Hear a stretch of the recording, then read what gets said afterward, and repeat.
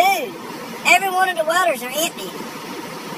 Don't anybody know how to fill them up anymore? Who done that shit? Night shift, just like I thought. Dude, before I left last night, I marked all those tubes exactly where they needed to be cut.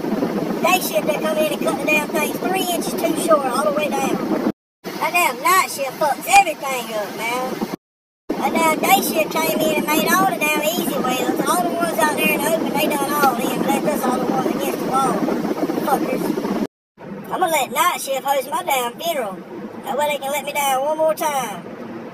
Day shift comes in every day and hides all the damn rigging. We can't find anything to work with when we get in here. This is bullshit. Night shift left a bunch of bottles of piss laying everywhere up there on the unit and cigarette butts everywhere.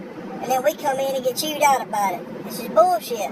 The hell with it, I'm gonna drag the fuck up. Day shift made three 20 inch heavy wall welds.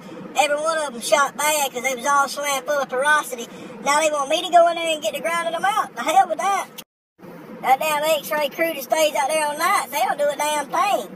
We come in here on day shift and got 40 or 50 welds backed up that we got to run all over the unit, crawling little ass holes to find. And this is bullshit. Them some bitches don't do nothing. One of them damn dickheads out there on day shift been going in my box.